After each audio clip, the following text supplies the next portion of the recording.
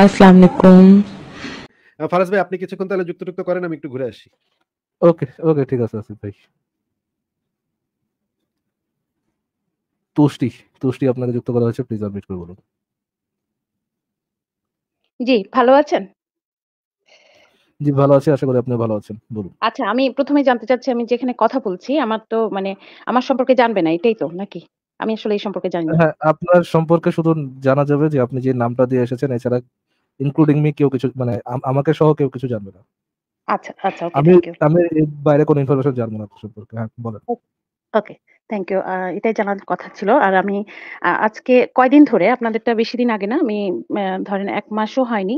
খুব কম সময় ধরে আপনাদেরটা শুনছি। এর আগে একটা ভিতরে, ভিতরে ক্ষোভ ছিল যেটা কোথাও বলার মতো ছিল না আরকি। আ আ যাই হোক আমি আসলে বলছিলাম যে মেয়েদের যে পর্দা প্রথাটা সেটা নিয়ে একটু কথা বলতে চাচ্ছিলাম। এমনভাবে যেটা আমরা ছোটবেলায় দেখেছি, আমাদের মা খালাকেও দেখেছি যে মানে তেমন একটা ইয়ে ছিল না। আমার মাকে আমি দেখেছি মেখে হাতা ব্লাউজ পরেছে সুন্দর করে শাড়িটা এইভাবে ফেলে দিয়েছে, ফেলে হাঁটছে। ইভেন মুমিনরাও কিছু বলেনি। আ ওরকম দেখিনি আর কি কিন্তু এই যে আজকে দশ পনেরো বছর ধরে বা ২০ বছর ধরে যেটা দেখছি, সেটা হলো যে মেয়েরা মানে সালোয়ার কামিজ পরলো সেখানে আবার এক্সট্রা হিজাব বা বোরকা মানে এগুলো পড়তে হবে। আর যদি সালোয়ার কামিজ পরে যায় সেখানে অনেক রকম কথা শুনতে হয়। এই জিনিসটা নিয়ে যদি কিছু বলেন। আসলে কি আমরা মানে কোন দিকে এগোচ্ছি? আমরা খারাপ দিকে এগোচ্ছি। কজ তারা এত বছর ধরে এটা প্রিচ করতেছে। ইসলাম ধর্মটা এরকম যেটা আপনাকে ইনটলারেন্ট হইতে শিখায়, আপনাকে বাধ্য হইতে শিখায়, ওর বাইরে যেতে যেতে আপনাকে যেতে আপনাকে বাধা দেয়, আপনাকে চোদ্দশো বছর আগে প্রিমিটিভ আরব কালচার আপনার মধ্যে ইনফোর্স করে এবং সেটা শুধুমাত্র আপনি কেন মানে আপনি করবেন না, অন্য কেউ করতে কেন বাধ্য করবেন? এই জিনিসটা ইসলাম শিখায়। এই জন্য লোকজনের আজকাল এই অবস্থা। এবং তারা ইমোশনের বাইরে যেয়ে ধর্মকে যাচাই করতে পারে না। তারা মেনে নেয় যে তাদের ইয়েটা হচ্ছে এরকম। এই জন্য দেশের অবস্থা এরকম খারাপ। জি, এখানে আরেকটু ইসলামকে ওপেনলি ক্রিটিসিজম করা যায় না। সবাই মনে করে সামহাউ সামহাউ মনে করে যে মগজ মগজহীন লোকজন মনে করে যে ইসলামটা হচ্ছে সত্য ধর্ম তারা অ্যাজ ইফ ডিসকভার করে ফেলাইছে। এটা এটা এটা একমাত্র সত্য ধর্ম সবাই জানে। এরকম একটা তাদের ভাব। তো তাদের আচ্ছা। মধ্যে ওই কনফিডেন্সটা আসে, ওই ইয়েটা ওই ছ্যাঁচড়ামিটা আসে। যে আমি শুধু মানবো এরকমটা অন্য কেউ মানতে হবে। আর এইগুলা জিনিস আমি আপনাকে একটা ছোট স্টোরি বলতে পারি। আমি আমি যখন আমার ইউনিভার্সিটিতে ছিলাম, আমার আমার এক ক্লাসমেট সে সবসময় আমি তাকে ওয়েস্টার্নই পড়তে দেখছি। ইদার সে সালোয়ার কামিজ পড়তো অর সে টি-শার্ট অর শার্ট এর সাথে জিন্স পড়তো। মাঝে, মাঝে ক্রপ টপও জি। বাট ধরেন ১ মাস হঠাৎ মানে হঠাৎ করে আমি একদিন দেখি যে সে হচ্ছে শুধু বোরকা না, ইরানিয়ান বোরকা টাইপের আছে না যেগুলো হচ্ছে অনেক লম্বা। ফোলা, ফোলা টাইপের বোরকা। ওইটা পরে আসা শুরু করছে। দেন দেখলাম সে বোরকা পরেই তার মেন্টালিটি সর্ট অফ চেঞ্জ। সে অন্যরা কেন ওয়েস্টার্ন পড়তেছে এটা নিয়ে তার অনেক ইয়ে তার একটা ইনফেরিয়রিটি কমপ্লেক্স যে অন্যরা কেন ইয়ে ওয়েস্টার্ন পড়বে? অন্যদের কেন ধরেন তারা স্লিভলেস কেন পড়বে? বা তারা কেন ক্রপ টপ কেন পড়বে? তাদের এই স্লিভ কেন দেখা যাবে? বা সরি তাদের হাত হাত কেন দেখা যাবে? তাদের এই পোর্শন কেন দেখা এটা নিয়ে তার খুব কটূক্তি। পরে বুঝলাম যে সেই ওই মেয়ের বিয়ে ঠিক হইছে কোনো এক আচ্ছা, আচ্ছা। মোল্লা-চোল্লার সাথে। আচ্ছা, এইজন্য আচ্ছা। সে এই এই কাজ করতেছে। সো এই জিনিসটা শিখায়। মানে ধর্মটাই এই পর্দা প্রথা এই জিনিসটা ইয়ে করে। এই এই মেন্টালিটিটা মানুষের মধ্যে ঢুকায় যে তুমি একমাত্র সঠিক পথে আছো এবং তোমার উচিত অন্যকে জাজ করা। তোমার তোমার উচিত অন্যকে বলা। তোমার উচিত অন্যকে ওই তুমি যে ডাস্টবিনের যে ইসের মধ্যে ঢুকছো, যে ব্যাগের মধ্যে ঢুকছো সেই ব্যাগের মধ্যে অন্যকেও ঢুকানো। যদিও আপনি কি পর্দার অরিজিন সম্পর্কে জানেন? পর্দা কেন করা হয়? পর্দার পর্দা জিনিসটা আসলো কীভাবে? না, আসলে আমি এত কিছু জানি না। কারণ আমি আসলে এটা একটু পড়ে দেখেন। এটা একটা ফ্যাসিনেটিং বিষয়। আপনি যদি পর্দা বিষয়টা সম্পর্কে আপনার আপনার একটা ক্ষোভ থেকে থাকে, যেটা অবশ্যই থাকা উচিত যে জিনিসটা এনফোর্স করা হয় সেটার প্রতি একটা ক্ষোভ থাকা অবশ্যই উচিত। বাট আম আপনি যদি এটা অরিজিনটা পড়েন, পর্দাটা কেন করা হইল? কেন আনা হইল? You will be disgusted about it যে এইটার পিছনে যে কারণটা, এটা শুনলে আপনার। লিটারাল বমি আসবে। এই কারণটা আমি শুনেছিলাম। আপনাদের আলোচনায় আলোচনায় একবার শুনেছিলাম যে মোহাম্মদের আপনার ওই যে স্ত্রীদের জন্য এই জিনিসটা আসছিল। একবার আপনাদের আলোচনায় কিছু শুধু সেটার জন্য না। আরও আরও কিছু আছে। আরও কিছু আছে। জি, আসিফ ভাই আসিফ ভাই হয় একটু বলবেন কারণটা আমি একটু তাহলে স্ক্রিনে দেখাই যে পর্দার বিধানটা নাজিল হওয়ার পেছনে যে ঘটনাটা ছিল সেটা আমরা একটু হাদিস থেকে পড়ি। এটা হচ্ছে বুখারি শরীফ ইসলামিক ফাউন্ডেশন থেকে কিনলে হাদিস নাম্বার হবে ৪৪৩২ এখানে বলা হচ্ছে দেখেন, আ আয়েশা থেকে বর্ণিত। তিনি বলেন, "পর্দার বিধান অবতীর্ণ হওয়ার পর সাউদা প্রাকৃতিক প্রয়োজনে বাইরে যান। এটার কয়েকটা ভার্সন আছে। আমি একটা ভার্সন দেখাচ্ছি। কয়েকটা হাদিসই দেখাবো একটা একটার পর একটা। সাউদা প্রাকৃত আচ্ছা আগে ওই হাদিসটা পড়ে নেই। দেখেন এইটা দেখেন। সহিহ বুখারী ইসলামিক ফাউন্ডেশন ৫৮০৬ নম্বর হাদিস। এখানে দেখা যাচ্ছে নবী সাল্লাল্লাহু আলাইহি ওয়াসাল্লামের সহধর্মিণী আয়েশা থেকে বর্ণিত যে ওমর ইবনুল খাত্তাব নবী সাল্লাল্লাহু আলাইহি সাল্লামের নিকট প্রায়ই বলতেন যে, "আপনি আপনার সহধর্মিনীদের পর্দা করান।" কিন্তু তিনি তা করেননি। মানে মুহাম্মদ সেটা করে নাই।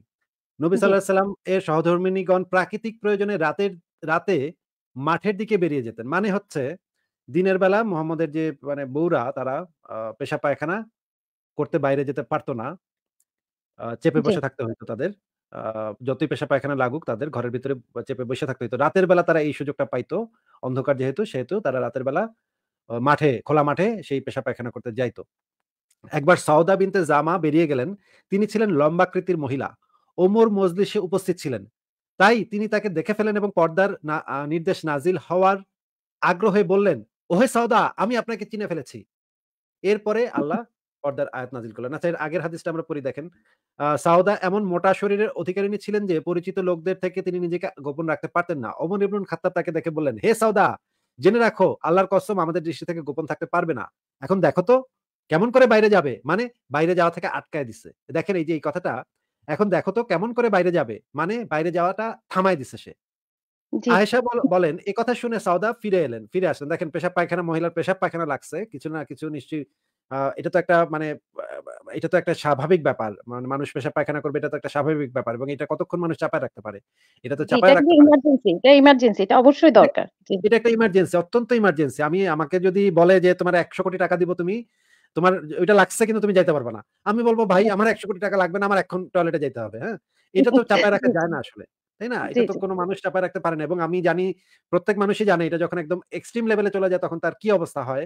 তখন যে কত খারাপ লাগে, কত ইয়া লাগে, একটা ডিসগাস্টিং ফিলিংস হয় এটা তো প্রত্যেক মানুষ জানে। কিন্তু দেখেন এখানে ওমর তাকে পর্দা করে নাই দেখে তাকে আটকায় দিছে, যাইতে দেয় নাই। এবং সাউদা ফিরে আসলেন। এ সময় সাল্লাল্লাহু আলাইহি ওয়াসাল্লাম আমার ঘরে রাতের খানা খাচ্ছিলেন। তার হাতে ছিল টুকরাহার। সাউদা ঘরে প্রবেশ করে বললেন, "ইয়া রাসুল্লাহ আমি প্রাকৃতিক প্রয়োজনে বাইরে গিয়েছিলাম। তখন ওমর আমাকে এমন, এমন কথা বলেছে।"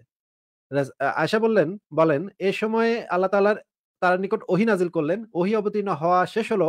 হাড় টুকরা তখনও তার হাতেই ছিল। তিনি তা রাখেননি।" রাসূলুল্লাহ সাল্লাল্লাহু আলাইহি ওয়াসাল্লাম বললেন, "প্রয়োজনে প্রয়োজনে অবশ্যই প্রয়োজনে তোমার বাইরে যাওয়ার অনুমতি দেয়া হয়েছে। কিন্তু এইখানে যে পর্দার বিধানটা তখন নাজিল হয়ে গেল। পর্দার বিধান করে, পর্দাটা করে তোমাদের প্রয়োজনে বাইরে যাওয়ার অনুমতি দেওয়া হয়েছে। এই এই রকমের অনেকগুলা হাদিস আছে। দেখেন আরেকটা হাদিস। ওমর ইবনুল খাত্তাব তাকে দেখতে পেয়ে বললেন, "হে সাউদা আল্লাহর কসম তুমি আমাদের থেকে কাছে লুকাতে পারবে না। ভেবে দেখো কেমন করে তুমি বের হচ্ছ?" আয়েশা বলেন, একথা শুনে তিনি উল্টা ফিরে এলেন। তখন রাসূলুল্লাহ সাল্লাল্লাহু আলাইহি ওয়াসাল্লাম ঘরে ছিলেন না। দেখেন এই পর্দার বিধানটা নাজিলের পেছনে আছে ওমরের মানে কুরকুরানি। ওমর হচ্ছে গিয়ে মেয়েদেরকে পর্দা করাইতে চাইতো। মোহাম্মদকে কয়েকবার সে বলছেও পর্দা বিধান নাজিল করে নাজিল করেন। আল্লাহরে বলেন পর্দার বিধান যেন নাজিল করে। মানে অনুরোধের আয়াত। এটা হচ্ছে আল্লাহর কাছে তা তদবির করছে ওমর গিয়ে যে আল্লাহরে বলেন পর্দার বিধান নাজিল করতে। আল্লাহ কেন এখনও পর্দার বিধান নাজিল করে না? পর্দার বিধান করতে বলেন। কিন্তু মুহাম্মদ কিছুতেই সেই পর্দার বিধান নাজিল করতেছিল না। মানে আল্লাহ কিছুতেই নাজিল করতেছিল না। পরে ওমর এমন একটা চালাকি বাইর করছে যে বউরে আটকামু, বউরে আটকা পেশাব পায়খানা করতে দিমু না। এইভাবে আটকায়া গলায় চাপ দিয়ে আল্লাহর কাছ থেকে আয়াত বাইর করমু পর্দার বিধান। এবং এইভাবে পর্দার বিধানটা নাজিল হইল। এইটা হইল পর্দার বিধান নাজিলের একটা ঘটনা। আরেকটা ঘটনা আছে যেটা হচ্ছে হযরত মুহাম্মদ যে তার এই যে আসিফ ভাই এটার সাথে একটু এড কর এটার সাথে একটু এড করে দেন যে ডিসগাস্টিং পার্টটা আছে ওইটা একটু এড করে দেন। এবং ওইটার মাধ্যমে পর্দার মাধ্যমে স্লেভ ওমেন এবং মুক্ত যারা নারী আছে তাদেরকে আলাদা করা হইল। স্লেভ ওমেন ইয়ারা মুহাম্মদ এবং তার সাহাবারা তো ছিল লুটার্স। তারা যে তারা যে ইয়া চালায়, তারা যে রেডিং করে আপনার দাসী নিয়ে আসতো। গনিমতের হ্যাঁ, মাল হিসেবে মেয়েদেরকে নিয়ে আসতো এবং তাদেরকে দাসী বানায় তারা একেকজনের কাছে বন্টন করে দিত, তারা তাদেরকে সেক্স হিসেবে ব্যবহার করত। এবং এই পর্দাটা একটা ইয়েই ছিল, ইউটিলিটি ছিল মানে one of the main utility ছিল যেন মুক্ত নারী এবং দাসীদেরকে আলাদা করা যায়। যে এই যে যারা ডাস্টবিনের ইয়ে পরে আছে, ডাস্টবিনের ব্যাগটা পরে আছে, এরা হচ্ছে হায়ার হায়ারার্কিতে আছে এবং যারা হচ্ছে ইয়েতে নাই, যারা হচ্ছে ওই ডাস্টবিনের ব্যাগটা পরে নাই তারা হচ্ছে লোয়ার ক্লাস। মানে যারা, যারা এখন এখানে বোরকা পড়তেছেন, যারা, যারা। বোরকা পড়তেছেন বা, এই ঘটনাটা জেনে আমি যারা না জেনে পড়তেছেন তাদের তো আমি সম্পর্কে তো অবশ্যই কিছু বলার নাই। বাট যারা এটা জানেন যে এটা ডিফারেন্সিয়েট এই এই পিস অফ কোডটা দিয়ে ডিফারেন্সিয়েট করা হয় যে কারও হচ্ছে মুক্ত এবং কারও হচ্ছে দাসী। এটা জানার পরেও যারা পড়েন তারা লিটারাল সেন্সে দাস প্রথাকে সমর্থন করে এই এই হ্যাঁ, হ্যাঁ, পোশাকটা পরে থাকেন। এটা যারা জানবে তারা তারাই তো আরও বেশি করে বোরকাটা নেবে। বলবে যে আমরাই তো মানে সম্মানীয় নারী আমরাই মানে আসল। আর যেগুলো পর্দা এই ধরনের ইয়াটা শুনলে ইন্টারপ্রিটেশন শুনলে এবং তাদের কথা শুনলে বম- বমি আসার মতো কথা। এবং জি এটার যে আয়াতটা আছে কোরআনের আয়াতটা আছে আয়াতটাও খুবই প্রবলেমেটিক একটা আয়াত দেখেন। এখানে কি বলা হচ্ছে? শেখ মুজিবুর রহমানের অনুবাদটা পড়ি যে হে নবী তুমি তোমার স্ত্রীদেরকে কন্যাদেরকে এবং মুমিনা নারীদেরকে বলো তারা যেন তাদের চাদরের কিয়দাংশ নিজেদের উপর টেনে নেয়। এতে তাদের চেনা সহজতর হবে ফলে তাদেরকে উত্তক্ত করা হবে না। এতে তাদের চেনা সহজতর হবে। মানে এই বোরখা টোরখা করছে এই কারণে তারা সম্ভ্রান্ত যেহেতু এই কারণে তাদেরকে উত্তক্ত মানে মোহাম্মদের যে মানে সৈন্যবাহিনী বা মানে সাহাবিরা তারা রেগুলারই উত্তক্ত করত সব মেরে উত্তক্ত করত কিন্তু ওই পর্দাটা থাকার কারণে ওদেরকে এই স্পেসিফিক ক্যাটাগরির মেয়েদেরকে আর উত্তক্ত করা হবে না। এটা আল্লাহ পাক লিডার ছিল হচ্ছে ওমর ভাই। এই যে হ্যাঁ, যারা উত্তক্তকারী ছাত্র এদের লিডার ছিল ওমর। একদম একদম। এই এই ছাত্রদের মানে ইয়া ছিল ওমর লিডার ছিল ওমর এবং এই যে এরপরে আর তারা ওই ওই ক্যাটাগরি নারীদেরকে উত্তক্ত করে নাই নিশ্চয়ই যে এরা যেহেতু বোরখা টোরখা পরে আসছে এরা। এবং আরও ডিসগাস্টিং ব্যাপার হচ্ছে দাসীদের যে আওড়া, সেই আওড়াটা হচ্ছে নাভি থেকে হাঁটু পর্যন্ত। মানে হচ্ছে হাঁটু থেকে নাভি পর্যন্ত দাসীদেরকে ঢেকে রাখতে হবে। নাভির ওপরের অংশ কিন্তু খোলা রাখলেও কোনো সমস্যা নাই ইসলামে। দাসীদেরকে সেইভাবে, এমনকি ওমো ওমর তার খেলাফত আমলে দাসীদেরকে পিটাইতো। দাসীরা যদি বোরখা পড়তো তাহলে দাসীদেরকে রাস্তায় ধরে ধরে পিটাইতো যে, তুই কেন বোরখা পরছিস? তুই কি স্বাধীনা তুই কি তুই কি সম্ভ্রান্ত? এটা বলে বলে পিটাইতো। এই, এটা হাদিসের ভিতরে আছে এবং আমাদের যে মুফতি ইব্রাহিম, সেটা মানে ওয়াজে বেশ কয়েকবার বেশ কয়েকটা ওয়াজে এই জিনিসটা আছে। আমি সেটা একটু বের করি। ফারাজ ভাই, আপনারা, আপনি একটু কথা বলতে থাকেন, আমি সেটা একটু বের করি। হ্যাঁ এই পার্টিকুলার এই পোর্শনটার জন্যই আমি বোরকাটাকে স্পেশালি ঘৃণা করি এবং যারা এটা জেনে বোঝে, এই পোর্শনগুলো জেনে বোঝে বোরকা পরেন। লিটারাল দাসপ্রথা সমর্থনকারী মহিলা আসলে পর্দার মধ্যে নাই। অনেকেই পরে দেখেছি মানে ম্যাক্সিমাম যাকে বলব মানে ওরা জাস্ট ফিগারের মাপেই তো বোরকা বানায়। সেটা তো আরও দর্শনীয় হয়ে যায় না? একটা সালোয়ার কামিজ পরা নর্মাল একটা মেয়ে যেভাবে যাবে বা একটা শাড়ি পরলো বাঙালি সাজে তার চাইতে তো ওই যে মানে একেবারে আগাগোড়া ফিগারটা যে সে মেনশন করে দিচ্ছে সেটা তো আরও বেশি বিরক্তিকর। সেখানে তো। কিঙ্ক আছে এরা এরাও চায় মনে করেন যে আপনার ওরকম কোন মাদ্রাসা ছাপকে তারা মানে মাদ্রাসা ছাপ মেন্টালিটির লোকজন চায়। অথবা তাদেরকে আকর্ষণ করতে চায় যে আহ, সারা জীবন চুরি বাটপারিও করবে আবার যায় পাঁচ ওয়াক্ত নামাজও পড়বে। ওই রকম হালাল হালাল দিয়ে মাদ্রাসা চাপকে চায় এই জন্য হয়তো তারা ওইরকম ড্রেস আপ করে। আচ্ছা আমরা এই ভিডিওটা পেয়েছি ভিডিওটা একটু দেখে নিই তারপর আপনারা আবার কথা বলেন ভিডিওটা একটু দেখেন হ্যাঁ? তো যে বিষয়টা আমি বলতে যাচ্ছি সেটা আপনি জানেন কিনা জানি না দাসীদের জন্য পর্দা ফরজ নয়। এমনকি ওমর রাজিয়াল্লাহ তাআলার ইতিহাস খুললে দেখবেন, দাসীরা যদি ওমর রাজিয়াল্লাহ তাআলার যুগে পর্দা করতো, তো ওমর রাজিয়াল্লাহ তাআলা তাদের শাস্তির ব্যবস্থা করতেন। তো এটা বলে আমি যেটা বুঝাতে চাচ্ছি যে পর্দা হচ্ছে সম্ভ্রান্ত বংশ, আজাদ, স্বাধীন নারী, যে অবরোধ বাসেই নয়, যে নিজের অধিকার বুঝে, সেই স্বাধীন নারীর বৈশিষ্ট্য হচ্ছে পর্দা। আর যারা রাস্তাঘাটে বেপর্দা হয়ে ঘুরে বেড়াচ্ছে আছে দাসী। মানে এভাবে বলা ঠিক হলো না। কিন্তু এটাই বাস্তবতা যেটা কাদের বৈশিষ্ট্য? দাসী। দাসীদের বৈশিষ্ট্য বেপর্দা হয়ে ঘুরে বেড়ানো। আর আজাদ সম্ভ্রান্ত বংশের নারী বেপর্দা হয়ে রাস্তায় আসবে। বাপ রে বাপ রে বাপ। নারীদের মধ্যে যারা দাসী কৃত দাসী? কৃত দাসীদের চেহারা ঢাকা নিষেধ। চুল চেহারা ঢাকা নিষেধ। কৃত দাসীদের? হয়তো তোমার পিটাইতেন রাস্তায়। এই দাসী তুই চেহারা ডাকলি কেন? তুই কি সম্ভ্রান্ত? তুই কি স্বাধীনা? চেহারা ঢাকবে, মাথা ঢাকবে, জিলবাব দিয়ে সর্ব শরীর ডাকবে এটা হলো সম্ভ্রান্ত স্বাধীনা নারীর ভূষণ।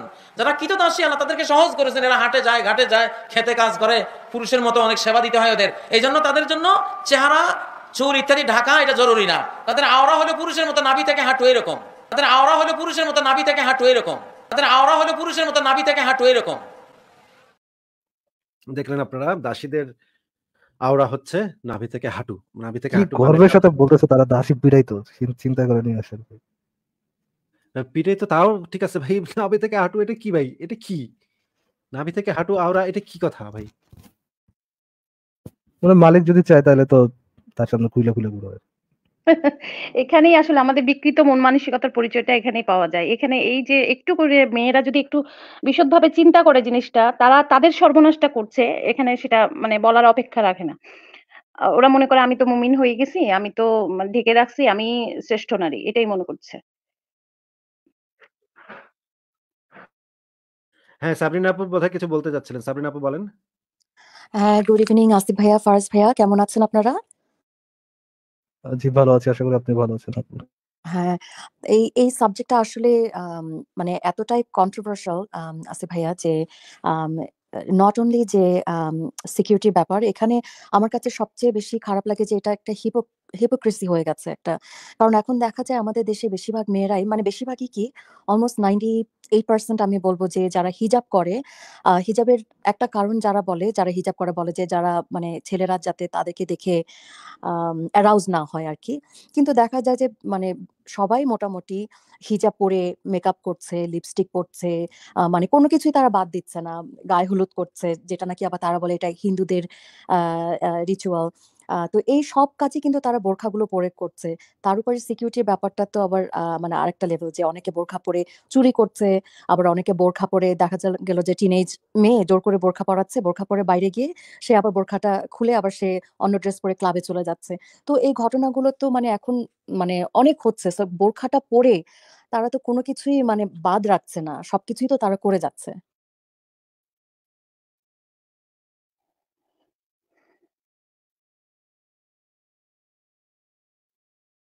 হ্যাঁ, তুষ্টি আপু আপনি কি আর কিছু বলবেন?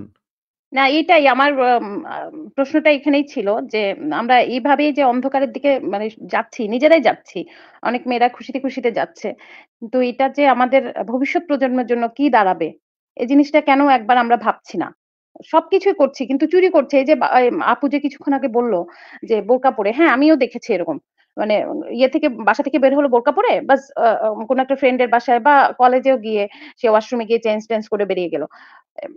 তখন তো আর ইয়ে নাই, বোরকা নাই। আমি তুষ্টি ভাইয়া আমাদের এখানে এখন ওয়ালমার্টে আমি জানি না এটা আপনারা জানেন কিনা এখন ইউএসএ সব জায়গাতে ওয়ালমার্টে যেখানে সব জিনিসপত্র আগে মানে ওপেন থাকতো, এখন সবকিছু ওরা মানে শোকেজে রেখে দেয় লক করে। কারণ ওদের এমন অবস্থা হয়েছে ওরা এতটাই লসে যে ওদের এখন সবকিছু লক করে রাখতে হয়। কারণ এরকম বোরখা পরে অনেকে যায় ওয়ালমার্টে এবং বোরখার নিচে ওরা জিনিসপত্র চুরি করে নিয়ে যায়। সো ওরা এতটাই এখন একটা লসের ভিতরে আছে যে ওদের সবকিছু এখন কোনো কিছুই ওদের ওপেন নেই। রেজর থেকে শুরু করে লিপস্টিক থেকে শুরু করে সবকিছু হ্যাঁ, এগুলো তো ধরারও কয়েকটা ভিডিও আছে। বোরকার তল থেকে শুধু জিনিসপত্র বের হইতেই থাকে, বের হইতেই থাকে। হ্যাঁ, হ্যাঁ ভিডিওগুলো আমিও দেখেছি। বোরকার তল থেকে বের হয় সব। বোরকাওয়ালিরাই দেখে। বোরকাওয়ালিরাই দেখে। ওরাই হাসাহাসি করে, ওরাই আবার বোরকাটাকে সাপোর্ট করে। এই আরকি। লজ্জা শরম না থাকলে যেটা হয়। এই আরকি আপনার কিছুদিন কিছুদিন আগে না, ১ দিন ২-১ হবে। ওই যে শরীফ থেকে শরীফা যে গল্পটা ছিল। তা আমাকে একজন বলছিল আরকি যে, "দেখেছেন শরীফ থেকে শরীফা গল্পটা?" তো আমি তো আসলে সামনাসামনি খুব একটা বলতে পারি না। বলতে গেলে তো আমাদের বাচ্চা-কাচ্চা আছে, সমস্যা, হাজবেন্ড আছে। বলা যায় না ওইভাবে যেহেতু দেশে আছি আমরা। তো আপনার বলেছি আকার ইঙ্গিতে বলেছি। না সেই কিছুতেই মানবে না। এটা হলো যে ইসলামে হারাম। এটাকে নিয়ে কেন পাঠ্যপুস্তকে হবে? তাকে তো বলতেই পারেন যে, "ভাই আপনি যে চাকরি-বাকরি করেন ওই চাকরি-বাকরিটাও হারাম। আপনি যে স্কুলে পড়তেছেন বা কলেজে পড়তেছেন বা ইউনিভার্সিটিতে পড়তেছেন সেটাও হারাম। হ্যাঁ, যদি এটা মিক্সড ইউনিভার্সিটি হয় সেটাও তো হারাম। হারাম, সে হ্যাঁ। যে চলতেছে, সে যে বেতন নিচ্ছে, সে যে বাড়ি করতেছে, গাড়ি করতেছে, কোথায় করতেছে? ব্যাংক থেকে টাকা নিয়ে করতেছে। তার বেতন কোথায় আসতেছে? ব্যাংক আসতেছে। এই ব্যাংক আসতেছে এটাও তো হারাম। জি, সেটাই। আম সবকিছুই তো হারাম। হারাম হারাম যেগুলো আমার কনভেনিয়েন্স এর সাথে যাবে সেগুলো ঠিক আছে। যেটা আমার কনভেনিয়েন্স এর সাথে না, যেটা অন্যের অধিকার অধিকারের বিষয়, আমার অধিকারের বিষয় না, সেখানে যে আমি পাকনামি করে বলব যে, "ও এটা তো ইসলামে হারাম।" ব্যাপারটা হলো এরকম এই আর কি মানে সবকিছুতেই হারাম যেটা আরকি। না আমরা যেমন আগে মানে শখ করে নেল পলিশ পড়তাম। মেয়েরা উম আগে দেখতাম, ছোটবেলায় দেখতাম। যেহেতু আমি নাচটা শিখেছিলাম, ছোটবেলায় নাচ শিখিয়েছে, মা শখ করে শিখিয়েছিল। তো সেক্ষেত্রে আমরা নাচ করল, না করল মেয়েদের একটা এটা স্বভাবজাত বৈশিষ্ট্য যেটা মেয়েরা একটু সাজতে চায়, হাতে নেল পলিশ পড়তে চায়। আপনার ওইটা কি বলে আলতা, পায়ে আলতা পাইলে একটু বাঙালি সাজে আলতা পড়তে চায়। এই সবকিছুই ইসলামে হারাম। কোন জায়গায় আমার। আসিফ ভাইয়ের লাইভ যখন ১ম, ১ম দেখতাম আরকি। আ তখনও তো আমি মোটামুটি নাস্তিক। আমার এক ফ্রেন্ড এসে ভাই গর্ব করতো আমার কাছে যে তার গার্লফ্রেন্ড কতটা হিজাবি, তার গার্লফ্রেন্ড কতটা ভালো যে হিজাব পরে আসে তার সাথে এবং তারা এমন কোনো কাজ করে না যেটা ইসলামে হারাম, বুঝছেন? তারা নিজেদেরকে রিজার্ভ রাখছে বিয়ের পর যা হবে বিয়ের পর হবে।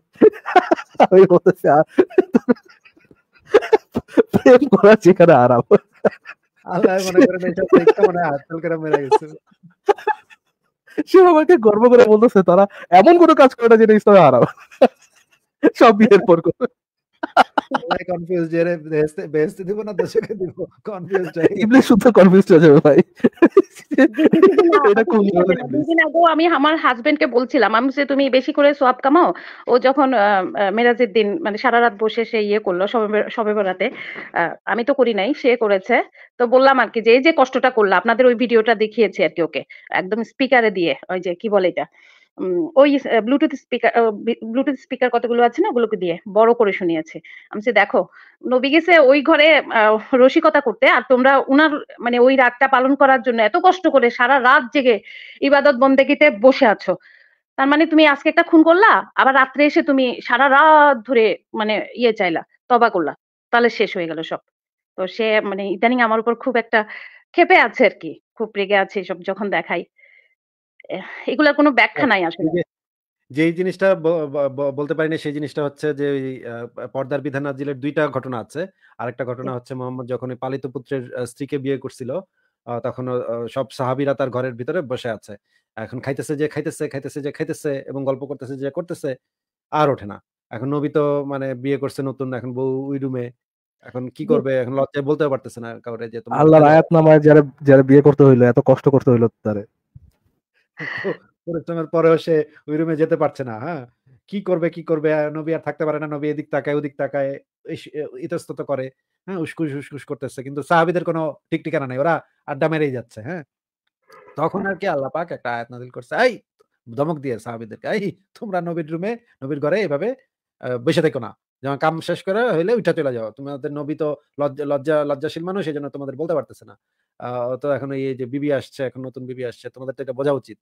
তখন আর কি সাহাবিরা এটা মানে ধমক খায় আল্লাহর ধমক খায় তখন তারা বেড়ে গেছে। এই ছিল কাহিনী এই দ্বিতীয় কাহিনী এটা। আসিফ ভাইয়ের সবচেয়ে মজার ব্যাপার হচ্ছে আল্লাহ কিন্তু সবসময় এই আহ, মানে এইসব করার মানে সময়ে সবসময় নাজিল করে সবকিছু। নবীর খাট কাঁপলো কিনা এটা তার প্রধান কনসার্ট আমার নবীর খাট কাঁপতেছে কিনা দুনিয়া জাহান নামে যাক আমার নবীর খাট এরাফ কাঁপতেছে কিনা এটা হচ্ছে তার মেইন কনসার্ন সেটাই উনার প্রয়োজনে মানে আয়াতগুলা নাজিল হয়েছে এক এক সময়। সবগুলোই তো উনার প্রয়োজনে। ঠিক আছে তাহলে তুষ্টি আপা আর কি কিছু বলবেন আপনি? জি আবার যদি আমি কখনো সুযোগ পাই আপনাদের এখানে যুক্ত হব। দেখা যাক। আচ্ছা। ঠিক আছে? ভালো থাকবেন তাহলে। বিদায় জানি তাহলে। ফারাজ ভাই আমি তাহলে ওই ভিডিওটা একটু দেখাই নি উনি তুষ্টি আপু যেটা বলল যে নেল পালিশ চলে সেগুলো যে হারাম সেই ভিডিওটা এখানে মাঝখানে দেখাই দিই। জি জি জি জি সাজানো উচিত কিন্তু নেল পালিশ নখে দেওয়া হারাম। নখ যেমন বড় করা হারাম নেল পালিশ নখে দেওয়া হারাম। নেল পালিশ নখে দেওয়া ইহুদি খ্রিস্টানদের পতিতালয়ের মেয়েদের বৈশিষ্ট্য। নয় নেইল পালিশ নখে দেওয়া ইহুদি খ্রিস্টানদের পতিতালয়ের মহিলাদের বৈশিষ্ট্য। কপালে টিপ দেওয়া হারাম। তারপরে হাই হিল হারাম থেকে শুরু করে সবই হারাম করে রাখছে। এই এমন একটা ধর্ম যে সবই হারাম করে রাখছে। ফারাজ ভাই আমি কি তাহলে পরের পড়বে আর দুই ঠ্যাং উপরে। বাচ্চা পয়দা করে বসে বসে। এবং শিশু বিবাহ হালাল আহ, দাসী রাখা হালাল। এবং নিতে পারলে দিতে হবে হালাল। আসিফ ভাইয়া লেজেন্ডারি ফতোয়া। নিচে নিচে যেগুলো পড়া ওগুলো যে হারাম বলে না এটা এটা একটু মানে